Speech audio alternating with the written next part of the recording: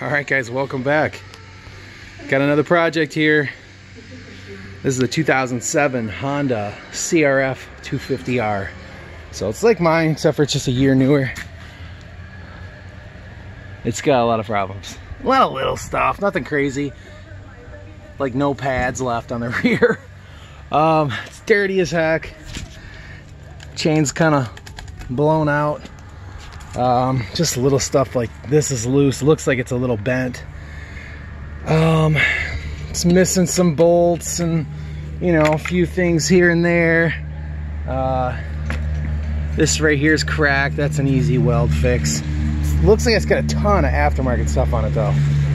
So definitely a nice, nice little project. The only thing is, is that it doesn't start. Well, the guy said that it was ripping and tearing. It was doing good and then uh, just out of nowhere started running rough and then shut off. Well I checked compression it's got good compression it's like 64 65 psi which you know is good because these have the decompression valve. So the manual says that's right in the range.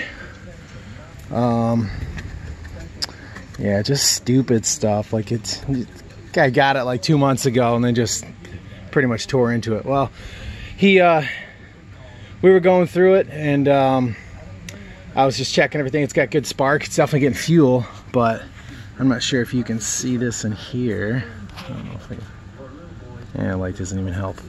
Well that I'm not sure if the head pipe just blew holes in itself or if we got too hot and blew a couple holes or if it started to come out.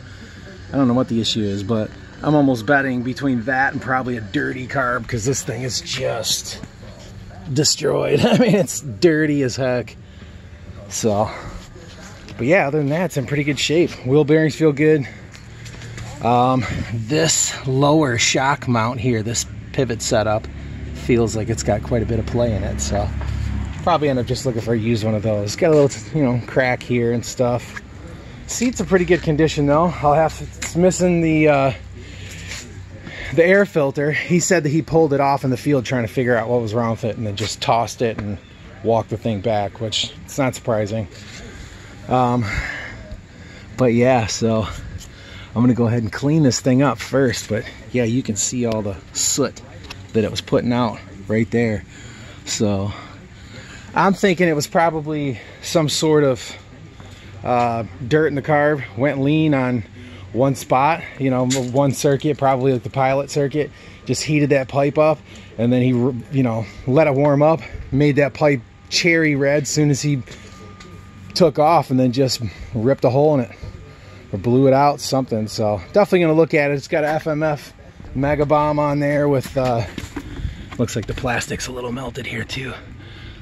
Looks like it says Ecosystems ES series big gun exhaust system. So I'm betting this thing's pretty loud too. So, but either way, I'm gonna go ahead and uh, get her cleaned up and then go from there.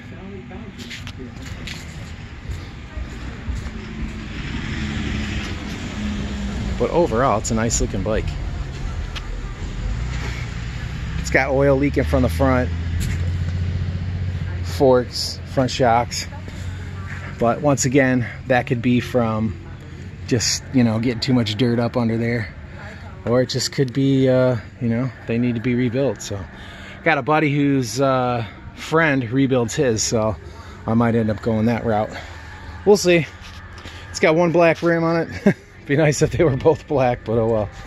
So all right guys I'll bring you back when I get it cleaned up and start tearing into things